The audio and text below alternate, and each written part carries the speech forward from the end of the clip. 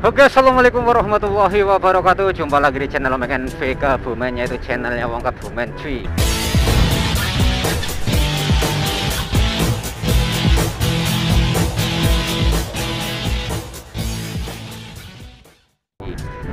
Oke posisi saat ini gue berada di jalan raya Becakayu ya. Becakayu daerah mana ini? Cipinang apa ya? Apa mana kok nggak paham di sini ya. Ini intinya ini di pinggir Kalimalang ya masih seperti biasa Omek baru pulang kerja karena kegiatan Omek setiap harinya yaitu bekerja ataupun nguli ya cuy ya. Tadi habis ada kerjaan dari Jakarta Selatan dan ini gue udah pulang jadi seperti biasa Omek memanfaatkan waktu luang Omek untuk apa ya untuk ngeceprek ngeceprek di jalanan seperti ini untuk membuat konten ya cuy ya. Karena di sini Omek masih motovlog pemula ting ting ataupun dong dong ya yang masih harus bekerja keras untuk menggapai kesuksesan cuy ya. Karena sebagai motovlog pemula ya kita harus bekerja keras kalau kepengen sukses di motovlog ya cuy ya. Oke, sembari kita menikmati perjalanan di pinggir Kalimalang ini, gua mau sedikit membahas masih seputaran motovlog pemula ya cuy ya. Tapi sebelumnya di sini Omek mau mengucapkan banyak terima kasih untuk kalian semua yang sudah mensupport gue selama ini dengan cara subscribe, like, dan komen ataupun dengan cara kalian mendoakan gue ya. Semoga kebaikan kalian dibalas oleh Allah Subhanahu Wa Taala dengan kebaikan yang lebih banyak lagi. Amin. Dan untuk kalian yang baru menemukan channel gue, gue mendukungnya dengan cara subscribe, like, dan komen karena satu subscribe dari kalian itu sangat bermanfaat untuk gue ya cuy ya. Terima kasih sebelumnya.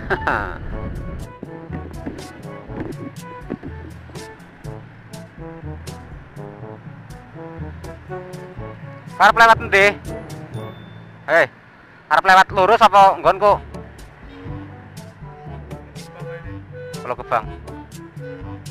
Yes, aku melu Pulau Gebang ya.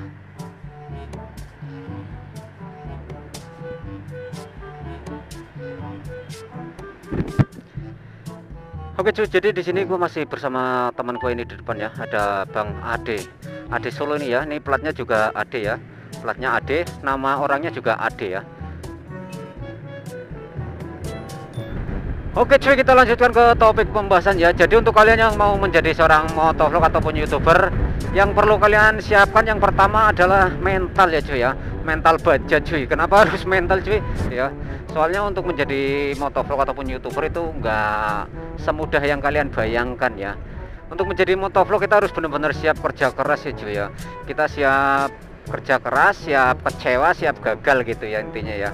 Karena untuk menjadi motovlog itu ya intinya susah ya jadi kita harus kuatkan mental kita jadi supaya kita tetap bertahan ya. Jadi dalam kondisi seperti apa saat kita ngedon gitu kita bisa tetap bertahan ya. Jadi kita nggak bakalan kecewa atau menyesal gitu ya cuy ya. Jadi kita harus menyiapkan mental cuy dan yang kedua untuk menjadi motovlog yang perlu kita perhatikan adalah motivasi ya cuy ya. Jadi kita harus punya motivasi ya untuk membangun channel kita ataupun ya untuk mengembangkan motovlog kita ya. Jadi kita harus benar-benar punya motivasi dulu cuy ya.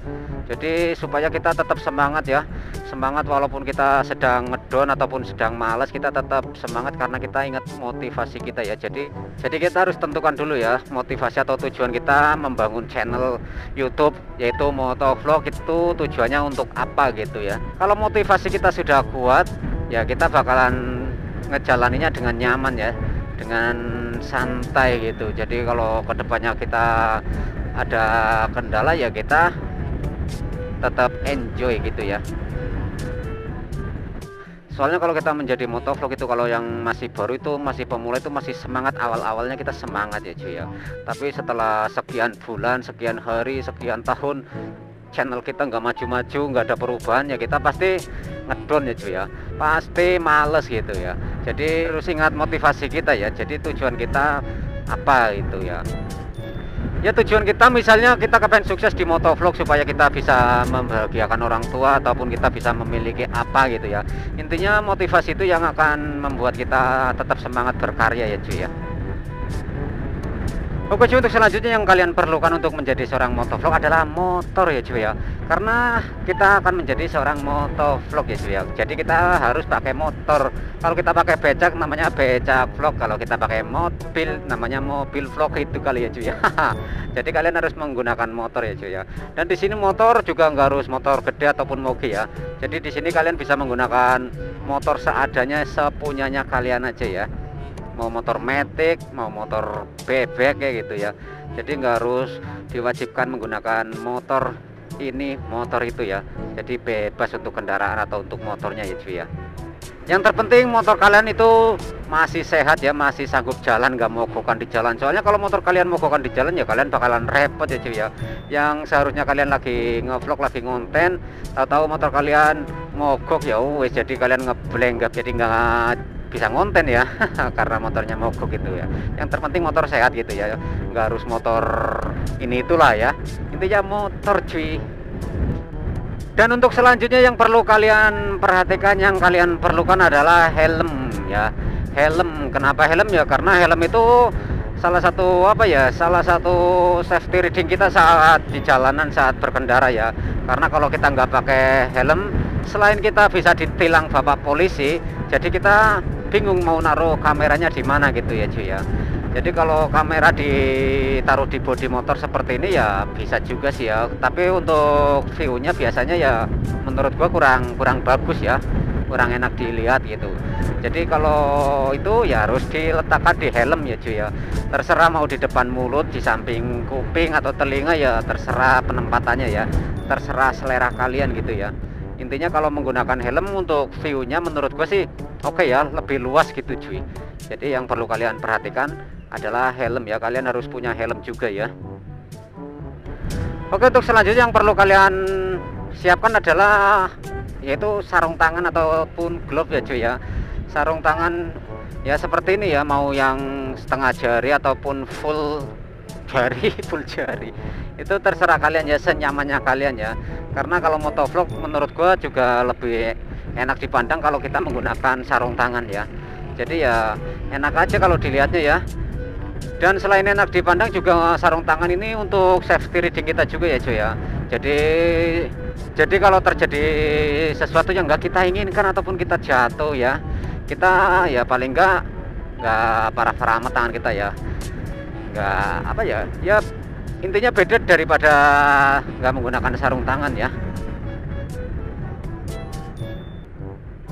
Dan untuk kalian bisa membeli sarung tangan yang seperti gua pakai ini ya cuy. jadi gua pakainya merek Pro Baker ya cuy ya. Pro Baker ini ya menurut gua sih walaupun murah ya tapi ya udah apa ya mantap lah kualitasnya nggak murah ya. Jadi di sini ada pelindungnya nih. Kalau kita jatuh ini di sini ada pelindung dan ini untuk ininya atasnya ini juga plastik ya jadi kalau kita jatuh ya insya Allah sih ya paling nggak parah-parah amat. Jadi untuk Proveker ini murah ya cuy ya sekitar ya 50 sampai 80-an ya beda-beda ya di toko online ya. Soalnya gue udah empat kali loh cuy empat kali ganti Proveker ini ya sarung tangan.